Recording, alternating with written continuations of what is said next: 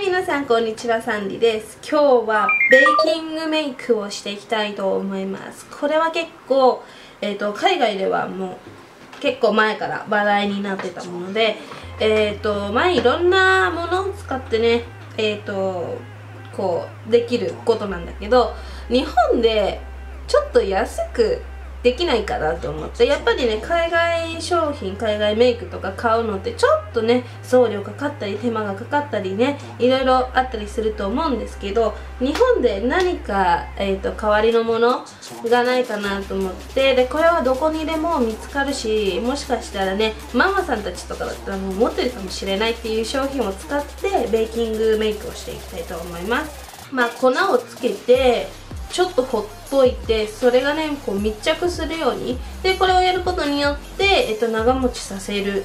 あとはえっとまあ仕上がりがすごいマットで綺麗な感じになるっていう。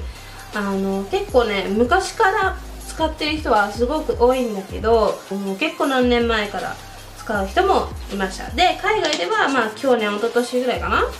で話題になってえっ、ー、と今じゃもう定番。のメイクの仕方です。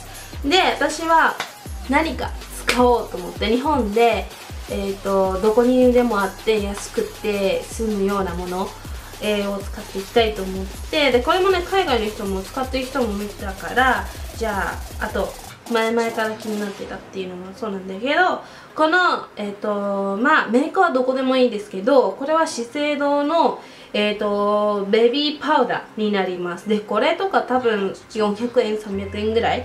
でどこの、えーと、薬局でも取り扱ってるものです。で他にもえーと、ベビーパウダーっていろんな種類があると思うんだけど例えばこのジョンソンのこのベビーパウダーでも大丈夫。ただねこれだとちょっと1回出してなんか粉々しちゃうから嫌だなって思ってこっちも安くてなんかもう結構1年前ぐらいかな。からちょっと、うん、まあちょくちょく見てたんだけどうーんどうかなと思って買わなかったんだけど。ね で今回はそう日本で使う日本で買える安いものを探しでこちらのパウダーを使っていきたいと思います。でこれにはねえっ、ー、とこのやつパフがついてるのでこれ使ってもいいしあのまあ、こういったねスポンジ使ってもいいしあのまあブラシこういうブラシでねトントントントンつけてもいいしでまあやっていきたいと思います。でねこれね結構固まってるパウダーになるので私が使うのはまあえっ、ー、と本当はねパチュラとかそういうのが欲しいんだけど今なくて。まあこういったピンセットのおちりちゃんを使っていきたいと思います。でこれをどうやるかっていうとまあちょっと削ります。ちょっとね。削ると粉々したのが出てくるので見えるかな。ちょっと、まあ、こういう感じで削っていくとちょっと粉々したのが出てくるんでまあ使う程度だけのものを削ってやると。でベーキングはすごい簡単なので誰にでもできます。でこの夏とかにねすごい良くてねこれ。ちょっとね厚化粧かなって一見ね見えちゃうんだけど意外と意外とねそうでもない。じゃあ私はこのスポンジングスポンジングだって。スポンジを使ってつけていきたいと思います。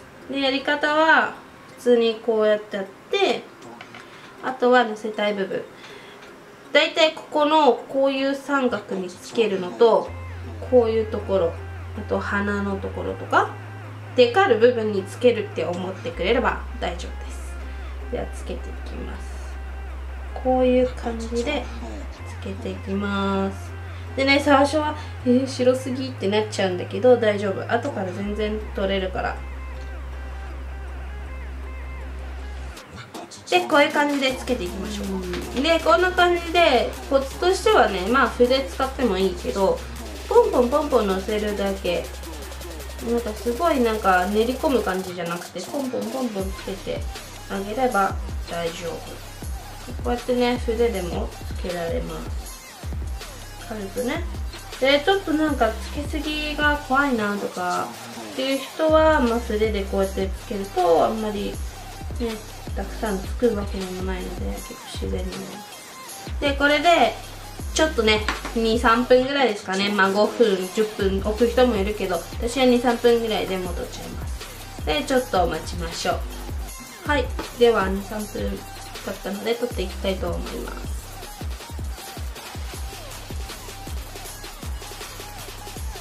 でこれは真っ白なやつを使ったんだけどなんか黄色みかかったパウダー使う人も中にはいてなんだっけバナナバナナパウダーっていうのかな確か。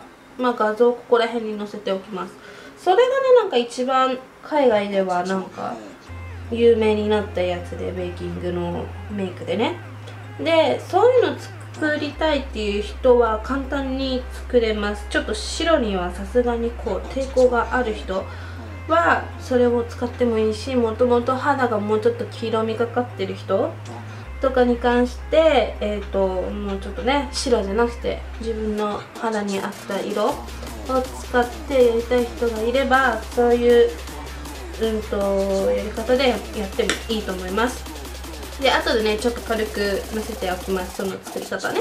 はいでは、えーと、バナナパウダー風に作っていきたいと思います。で用意するものはえーとまあ、ベビーパウダーがあればベビーパウダーでもいいしあのこういったねルースパウダーでも使えます。だけどまあ今回はベビーパウダーを使っていきます。でえっ、ー、とまあこういったコンパクトでちょっとこう残ってるものってありますよね。取り切れてないの。これを使ってやろうと思ってでまずはまあ先端何でもいいんですけどここをね粉々していきたいと思うのでまず潰していきましょう。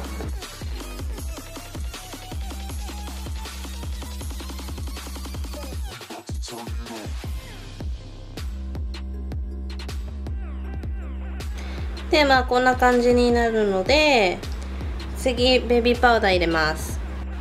でこれを削っていきます。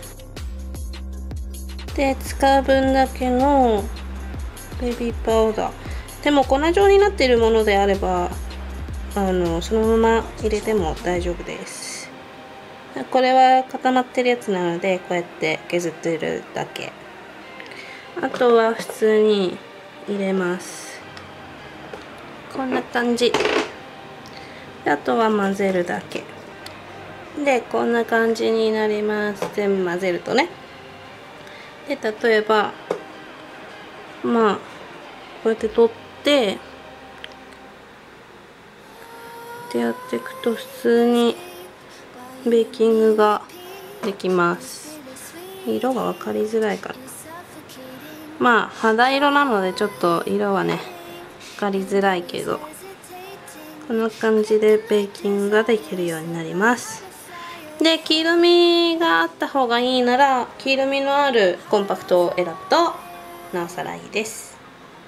でまあこんな感じで終わりました。あとはまあ自分の好みでねチークを入れたりするとまたあの印象も変わってきます。でまあ参考までにちょっとチークをのせていきたいと思います。今回はミラニのこの色を使っていきたいと思います。でちょっと大きめのブラシを使ってつけていきたいと思います。でここはね自分のこう洗った時に一番高い部分あるでしょ？でこれを強調したい人はここをね夕方みたいにつけると強調される。でまあ普通につけたい人はポンポンポンポンつけてもいいし何でも大丈夫です。じゃあつけていきます。まあ動画なのでちょっと濃いめにつけてます。ただねモニターもねちゃんとあった画質でやってないからすごい濃く見えるけどどうなんだろう実際。こんな感じでちょっと濃いなって思ったら別にまたねこれでどうせついてるから。なじませても大丈夫。こんな感じで終わります。以上ベーキングメイクでした。またね